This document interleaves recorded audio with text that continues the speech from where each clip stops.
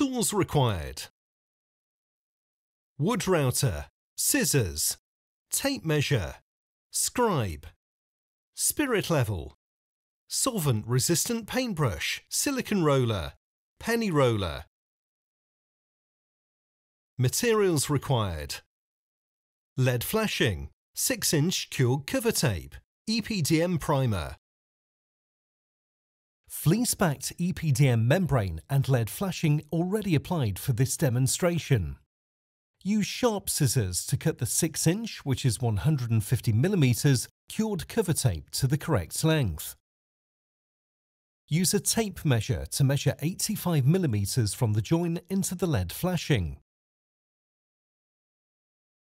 From the join, use a tape measure to measure 85mm into the membrane.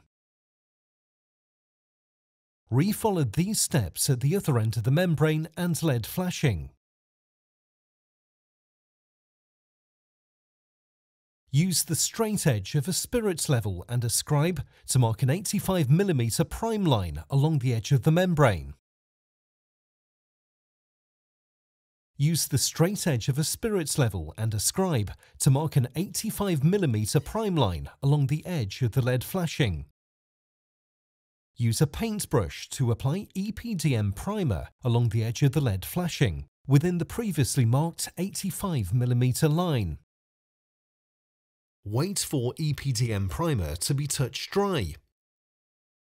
Lay the 6-inch cured cover tape onto the primer, making sure it's straight.